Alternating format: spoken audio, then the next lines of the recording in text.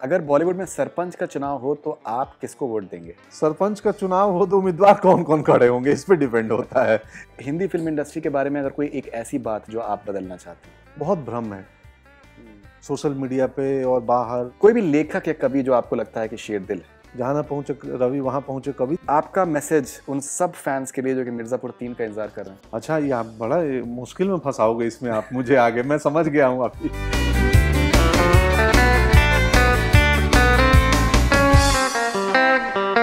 नमस्ते मैं हूँ पंकज त्रिपाठी और आप देख रहे हैं बॉलीवुड हंगामा।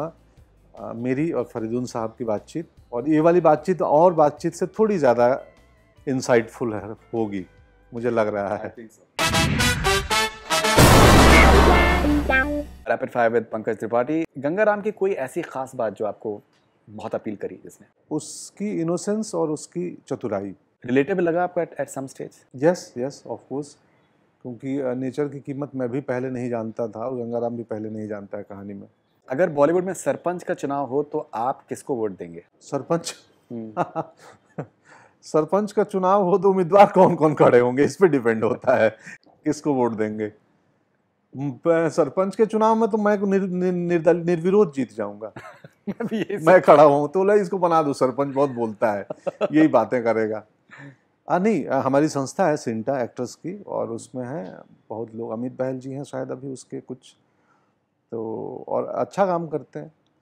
तो यहाँ चुनाव हो तो अभी तो मुझे लगता है कि सरपंच मुखिया सीनियर व्यक्ति बच्चन साहब भी हैं। राइट तो उन्हीं को सरपंच बनाया जाएगा। मैं मैं पिछले दिनों मिला था और मिल के बात किया तो और मुझे लगा कि अच्छा मैं ऐसा नहीं है कि हम एक दूसरे पहली बार मिल रहे थे। अच्छा। हाँ पर. जैसे सर ने मेरे से बात किया तो मुझे लगा कि मैं अपने इलाहाबाद के किसी पुराने परिचित व्यक्ति से मिल रहा हूँ। राइट एक सेकंड में कनेक्ट हो गए हम दोनों। नहीं वो खैर उनका भी ये कि आर्टिस्ट की कदर करते हैं बहुत ज़्यादा। That is. Something is okay आप भी किसान रह चुके हैं क्या गंगाराम जैसी समस्या का सामना आपको भी कभी करना पड़ा है?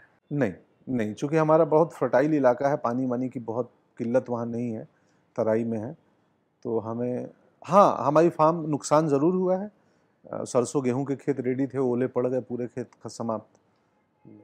ये हुआ है लेकिन हाँ बाकी गंगाराम टाइप का क्राइसिस नहीं हुआ है। जंगल में शूटिंग करने का सबसे बड़ा चैलेंज आपको सनलाइट के अकॉर्डिंग शूट करना पड़ता है। सुबह की लाइट दोपहर की क्योंकि वहाँ लाइटिंग होगी नहीं। तो जो सन का को हम फॉलो करते हैं तो वहाँ बोलते हैं there is so many stars बस ओनली वन सन क्या बात है। तो उसको फॉलो करो कोई स्टार नहीं है वही सन है। कुछ इस इस किरदार के बारे में कुछ ऐसी ऐसी बात जो कि आपको हमेशा याद रहेगी। उसका अपने कम्युनिटी अपने गाँव के प्रति समर्पण। समर्पण। Yes. Okay Hindi film industry के बारे में अगर कोई एक ऐसी बात जो आप बदलना चाहते हैं? देखिए हिंदी फ़िल्म इंडस्ट्री के बारे में एक वो बात कि कई बार ना हम हम कई चीज़ों को बहुत स्पष्ट और साफ़ रूप से नहीं बोलते जैसे कि बताऊँ कि हिंदी फ़िल्म इंडस्ट्री के बारे में जो अब वो इंडस्ट्री की तरफ़ से नहीं है बहुत भ्रम है। सोशल मीडिया पे और बाहर और मैं हूँ यहाँ काम कर रहा हूँ। जितनी प्रतियोगिता दूसरे फ़ील्ड में होती है उतनी ही प्रतियो खैर लंबा हो जाएगा। मैं आप कोई बोलिए, कोई- कोई- नहीं कुछ नहीं यही कि मेरे जैसे व्यक्ति का की यात्रा बताती है कि मैं आया और तमाम मुश्किल यस चुनौतियाँ बहुत है मुश्किल बहुत है प्रतियोगिता बहुत है इनसिक्योरिटी बहुत है लोगों में बावजूद उसके पंकज त्रिपाठी अभिनेता बना और लोगों ने स्वीकारा और मैं कहानियाँ कर रहा हूँ और अपने शर्तों पर करता हूँ मैं। Exactly. और मैंने बड़े बड़े प्रोडक्शन हाउस की फ़िल्म फ़िल्में विनम्रतापूर्वक मना की है कि नहीं मुझे एक्साइट नहीं कर रहा है ये। और सामने वालों ने स्वीकारा है। बट यस अगेन कई बार इस इंडस्ट्री के बारे में ये बदलना चाहूँगा कि आ, ये आप बहुत जल्दी मूल्य तय कर लेते हैं कलाकारों का। मूल्य मत तय करिए। समझो मतलब प्रयास करें कि हम सबको सामान्य मौके मिले। जो कि अगेन, एक इंडस्ट्री हो, व्यवसाय हो तो ये बात कहना मुश्किल है कि सबको सामान्य मौके मिलेंगे, क्योंकि व्यवसाय है। कहाँ मौके सामान्य मिलेंगे? हर कोई चाहेगा कि मेरा दुकान ज़्यादा चले।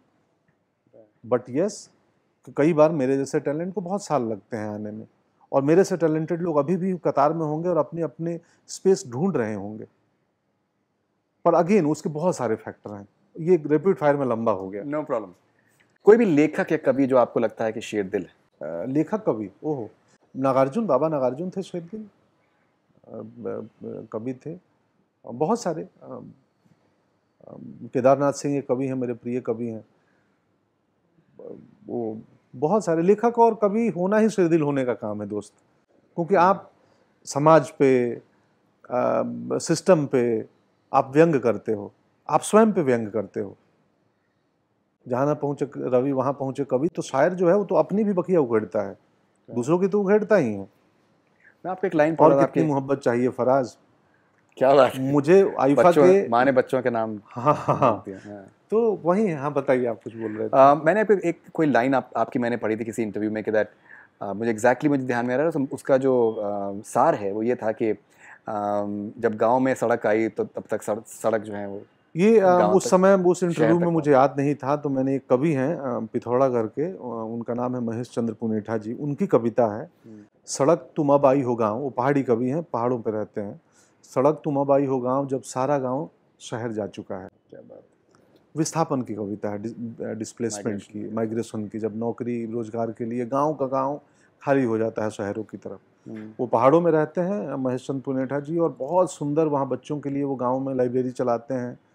और वहाँ बच्चों के पढ़ाई के लिए काम करते हैं। मैं बाद में मेरी उनसे बात भी हुई मैं उनके संपर्क में हूँ।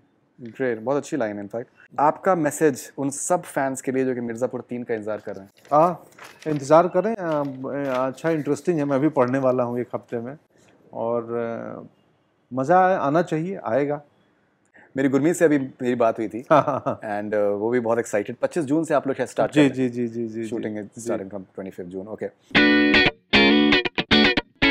25th June. Okay. I am a big fan of Neeraj Kabi. Yes अच्छा ये आप बड़ा मुश्किल में फंसाओगे इसमें आप मुझे आगे मैं समझ गया हूँ अभी। चलो। केके ने इस फ़िल्म में गाना गाया आई थिंक संगीत तो शांतनु मोहित्रा का शांतनु मोहित्रा का जंगल आ, उनका कौन सा गाना आपका पर्सनल फेवरेट है? चप्पा वो गुलजार साहब का ही पहला चप्पा चप्पा चप्पा। नहीं वो चप्पा चप्पा नहीं छोड़ा है हम वो माचिस का।